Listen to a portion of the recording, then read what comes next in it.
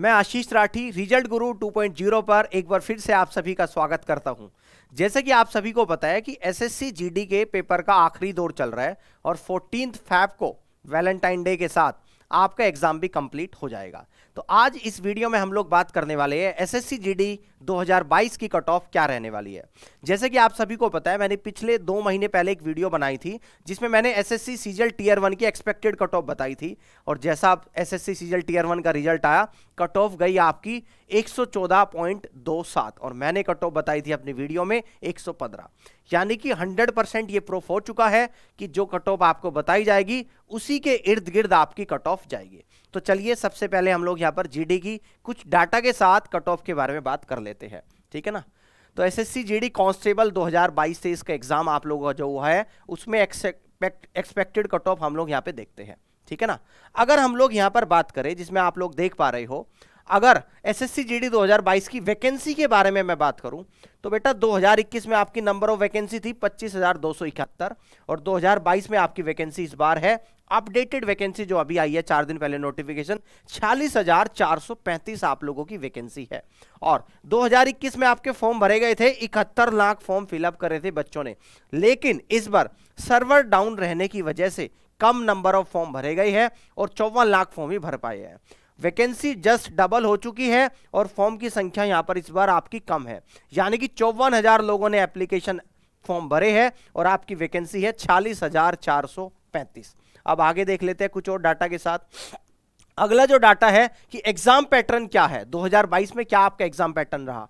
अगर मैं 2021 की बात करूँ तो 2021 में आपके 100 क्वेश्चंस आते थे और इन 100 क्वेश्चंस को करने के लिए आपको 2021 में 90 मिनट्स का टाइम मिलता था, जबकि 2022 में पूरा पैटर्न चेंज कर दिया गया है, जिसमें 2022 में नंबर ऑफ़ क्वेश्चंस हो चुके हैं 80 और आपको एग्ज़ाम को करने का समय मिल रहा है आप 60 मिनट्स यानी कि 80 सवाल को आपको 60 मिनट में यहाँ पर करना है। तो एक तरीके से आपने देखा होगा सीजीएल में आपके 100 क्वेश्चंस के लिए 60 मिनट का समय मिलता है। इस पर जीडी में भी 80 क्वेश्चंस के लिए 60 मिनट का समय दे दिया, यानी कि इस बार आपको स्पीड को बढ़ाना पड़ेगा। चलिए, आगे कुछ और डाटा हमारे पास जो है, उसको देख लेते हैं। तो बेटा यहाँ पर देखते हैं जीडी 2022-23 में क्वेश्चंस अटेम्प्ट्स यानी कि बच्चों ने कितने कितने क्वेश्चंस अटेम्प्ट करे हैं। तो सबसे ज़्यादा बच्चों ने 50 से 60 क्वेश्चंस के बीच में अटेम्प्ट करे हैं और उन बच्चों की संख्या है 65 परसेंट यानी हाँ बिल्कुल पैंसठ परसेंट बच्चों ने 50 से 60 क्वेश्चंस के बीच में नंबर ऑफ़ क्वेश्चंस को एग्ज़ाम में अटेम्प्ट करा है। इसके बाद देखते हैं 50 से कम कितने बच्चों ने क्वेश्चंस अटेम्प्ट करे हैं तो ऐसे बच्चे हैं 15 परसेंट अब इसके बाद 70 से 80 क्वेश्चंस कितने बच्चों ने अटेम्प्ट करे हैं? तो ऐसे बच्चे निकल कर आए हैं, केवल और केवल चार परसेंट पैंसठ से सत्तर क्वेश्चन कितने बच्चों ने अटेम्प्ट करे हैं? तो ऐसे बच्चे निकल कर आए हैं, केवल आपके सेवन परसेंट और जिन बच्चों ने साठ से पैंसठ के बीच में क्वेश्चंस को अटेम्प्ट करा है तो ऐसे बच्चे निकल कर आए हैं, केवल टेन परसेंट ठीक है? चलिए, आगे बढ़ते हैं। अगला डाटा कुछ इस तरीके से है कि एसएससी जीडी 2022-23 में सेक्शन वाइज अटेम्प्ट क्या आप लोगों का रहा है? अगर मैं यहाँ पे रीजनिंग के सेक्शन की बात करूँ तो रीजनिंग में अटेम्प्ट आपका रहा है 16 से 18 क्वेश्चन। अगर नंबर की बात करूँ तो नंबर आ रहे हैं यहाँ पर 34 ठीक है ना?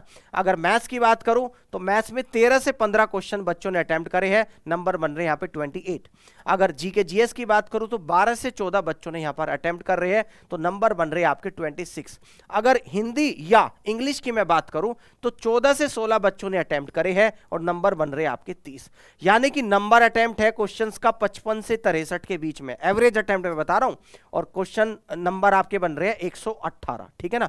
अब इन सब डाटा के आधार पर कट ऑफ़ आपकी क्या हो सकती है? यानी कि अब हम लोग चलते हैं जीडी की फाइनल कट ऑफ़ के बारे में और हम अलग अलग कट ऑफ़ यहाँ पर देखेंगे कि मेल कैंडिडेट की कट ऑफ़ क्या हो सकती है और फीमेल कैंडिडेट की कट ऑफ़ क्या हो सकती है। चलिए, बढ़ते हैं जिसका आपको बेसब्री से है इंतज़ार, वो आ चुकी है आपकी expected cut off for male candidates तो यहाँ पर जो आपकी कट ऑफ़ जाएगी यूआर कैटेगरी की कट ऑफ़ जाएगी आपकी 110 ठीक है ना?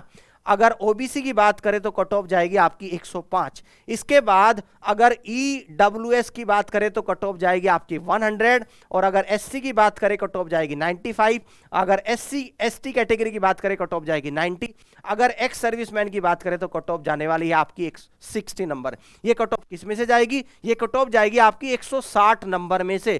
इस बार 80 क्वेश्चन, प्रत्येक क्वेश्चन दो नंबर का है। यानी कि 160 में से इतने नंबर आपकी कट ऑफ़ जाएगी। और इस कट ऑफ़ में आपको प्लस माइनस फाइव कर लेना है। यानी कि जैसे 110 है तो 105 से 15 वाले बच्चे बिल्कुल सेफ़ है सिलेक्शन लेकर मानेंगे इस बार। ठीक है? अब इसके बाद मैं दिखाऊँगा आपको फीमेल की कट ऑफ़ क्या हो सकती है। तो यहाँ पे फीमेल की कट ऑफ़ भी देख लेते हैं। तो फीमेल की कट ऑफ़ इस तरीके से है expected cut off for female candidates female की जो जर्नल की कट ऑफ़ जा सकती है, उसके पूरे पूरे चांस है, यानी कि 100 नंबर जा सकती है। है ना? मैं फिर से इस बात को दोहराना चाहूँगा कि ये कट ऑफ़ आपकी 160 नंबर में से है। अगर ओबीसी कट ऑफ़ के बारे में बात करें तो 95 जा सकती है ईडब्ल्यूएस e की 90 जा सकती है एससी की 85 और एसटी की 78 इसमें आपको प्लस माइनस फाइव और कर लेना है, ठीक है ना? तो ये रही इस बार की एसएससी जीडी की आप लोगों की एक्सपेक्टेड कट ऑफ़ ठीक है ना? तो इतनी ही जाएगी जित, बच्चों के इस तरीके से मार्क्स आ रहे हैं तो बिल्कुल तैयार हो जाइए अपने फ़िज़िकल के लिए और इस बार आपका एसएससी जीडी में सिलेक्शन होने वाला है। इसी तरीके की इंफॉर्मेशन जानने के लिए अपने परिवार रिज़ल्ट गुरु 2.0 के साथ जुड़ना मत भूलिएगा और आगे की वीडियो मैं आप लोगों के लिए इस तरीके की लेकर आता रहूँगा। थैंक यू सो मच धन्यवाद।